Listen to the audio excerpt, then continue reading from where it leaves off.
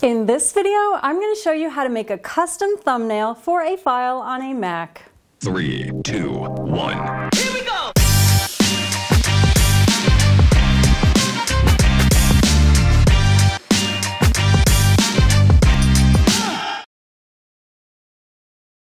Hi and welcome or welcome back to DIY Film with Merle Becker, the channel where I help you make better videos. As always, stick around to the end of the video for a bonus tip. All right, so recently one of my subscribers asked me how to make a custom thumbnail for her exported movie on her Mac, and I told her.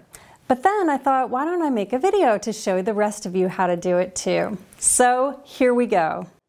So this is what I'm talking about. You have a QuickTime or an MPEG 4 movie on your desktop and you don't like the thumbnail that Mac has chosen for you. And you'd like to change it to something a little more representative of your clip. Like so. So this is how you do it. First, double click on the file itself and scrub through it until you find the frame that you want to use as your new thumbnail. When you find it, hit Command C and it'll copy it. Then close the movie. Then right-click or control-click on the file down by the name and select Get Info from the menu. And in the upper left of that info window, you'll see this little QuickTime icon to the left of your file name.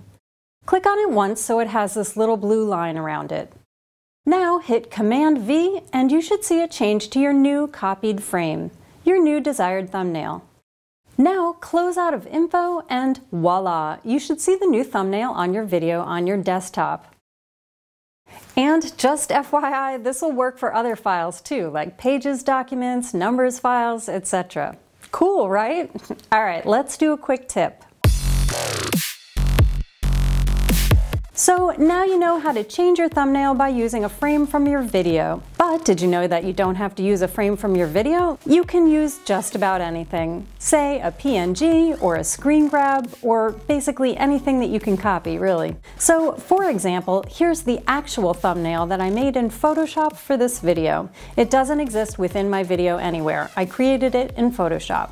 So to make this the new thumbnail, I can open it, Command C to copy it, bring up the Get Info window, and in Get Info, I can make it the new Photoshop created thumbnail.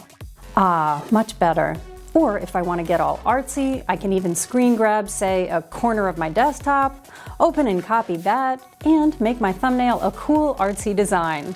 But let's not get carried away. So give your QuickTime some extra flair today with a custom custom thumbnail. All right, as always, if you found any of this helpful, please give the video a thumbs up, subscribe and hit the bell so you know when the next one is posted, and I will catch you next time.